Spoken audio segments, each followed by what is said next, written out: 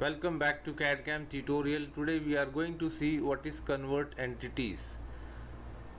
Convert entities, it converts the previous or back sketches into present sketch. So first we will make one sketch. So choose top plane, sketch and select circle. Okay. Now exit from this sketch now our one sketch is created. Now we want to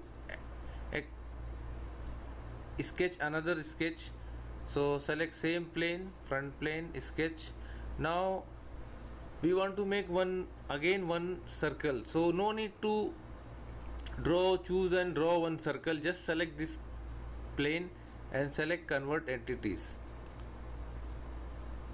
So in the same plane one more planes are created exit see here two planes are created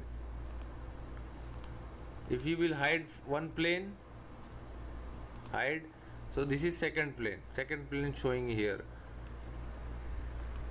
just select first plane I'll show one more things go to feature select extruded boss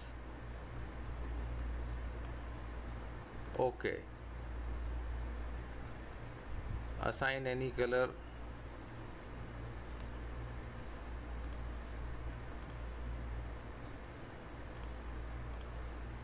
now see this is our one plane created. So, so select this top plane.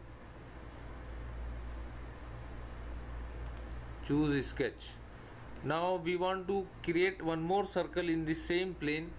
So we I will not going to take circle and draw one circle. I'll just select this surface or select this line. Choose convert entities. See the one line converted this previous line converted into this plane. So this is the mainly use of convert entities.